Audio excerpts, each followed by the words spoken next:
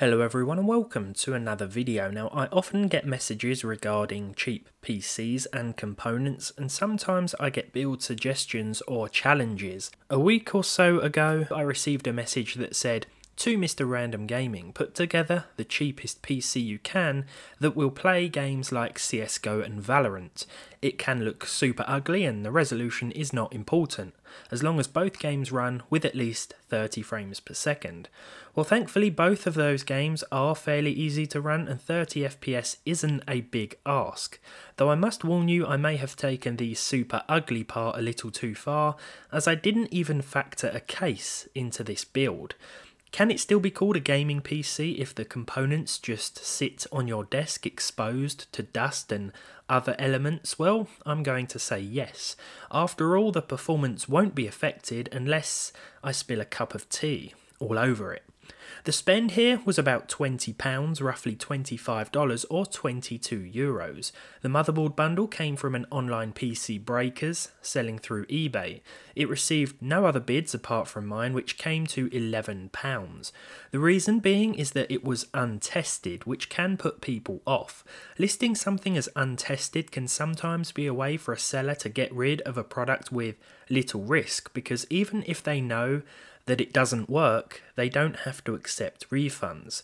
Luckily, this whole bundle works fine at the moment and consists of an AMD A6 3650 quad-core CPU with 8 gigs of RAM and integrated HD 6530D graphics. The power supply is a 450 watt no name explosion waiting to happen, and the 1TB hard drive turned up out of the blue from the same seller, who, it turns out, had messaged me asking if I wanted this as well, as they didn't want to throw it away. I only noticed this offer after it arrived, and I'm now extremely suspicious as to why they wanted to get rid of this so badly. Thankfully, I won't actually be using it as my games are all installed on my SSD. It's just there to show you that I do have a storage device factored into this build but no case. Now, the words gaming PC will certainly be in open and closed quotation marks in the title, as I'm not sure how it will perform. Now, because of the lack of a case, uh, this will be acting as the power button. It's simply a matter of shorting the two power pins to boot this super janky build into action. Now, I won't lie, I'm not extremely proud of my creation, but hopefully I've met the criteria for this challenge. What I want to add quickly here is that getting the drivers to work with Windows 10 for this APU was a nightmare.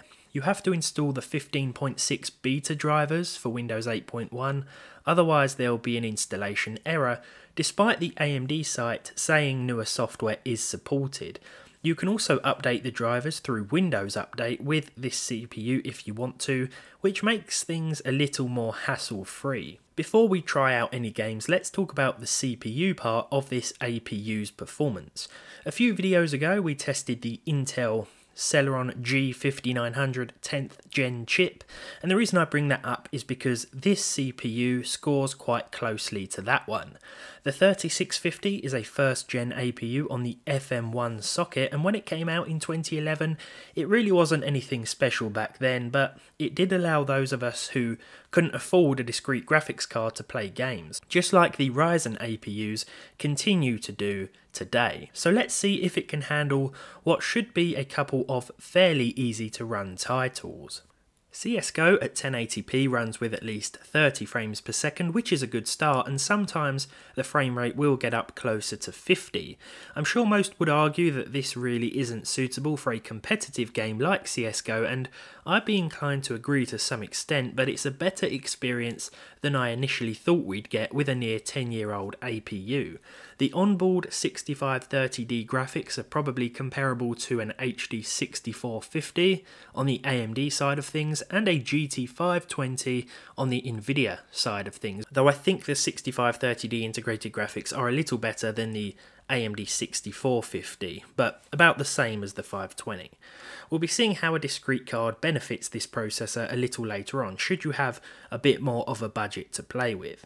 If we switch to 720p in CSGO then our frame rate will improve, though a solid 60 FPS still isn't doable. We're seeing an average of between 40 and 50 here, though at some moments the game did hit 60.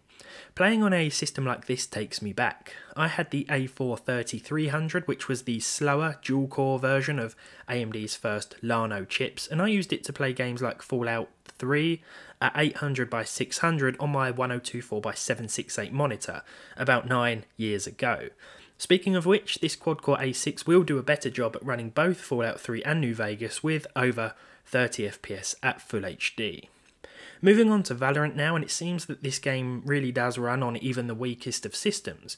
We put together a minimum system requirements build before for this game, and I found that it runs quite well, and it's quite lenient hardware wise.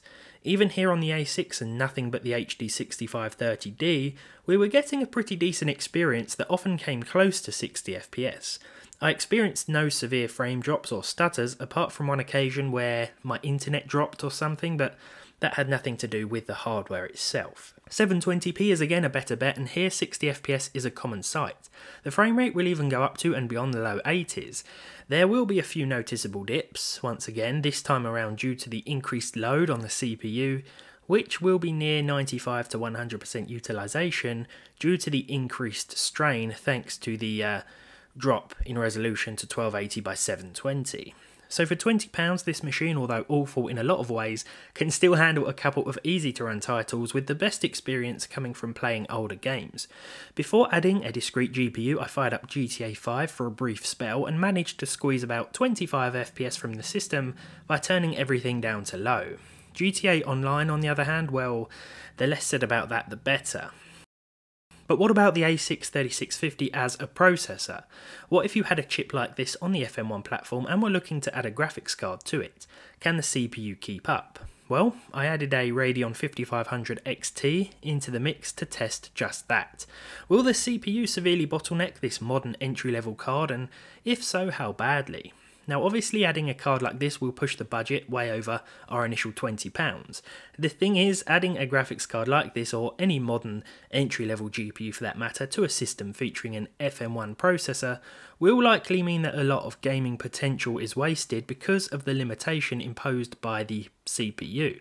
The A6 is holding the 5500 back, but that being said, if you've been using an older system like this without a graphics card for a while, you'd likely still be thankful for the increase in performance, and the processor and motherboard combo could be upgraded a little later down the line.